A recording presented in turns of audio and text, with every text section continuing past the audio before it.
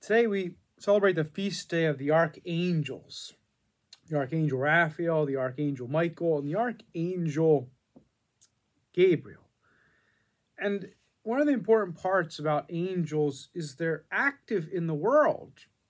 They truly help guide us to do good and avoid evil.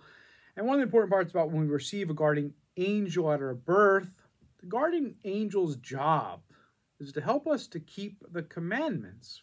It's a beautiful line in Sirach that says, If you keep the commandments, they will save you.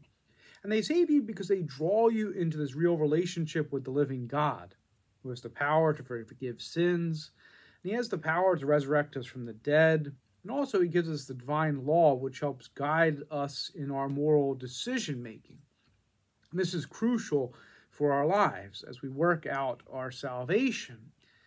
And one of the other important parts about this whole reality is the fact they help us to be attentive to the Word of God.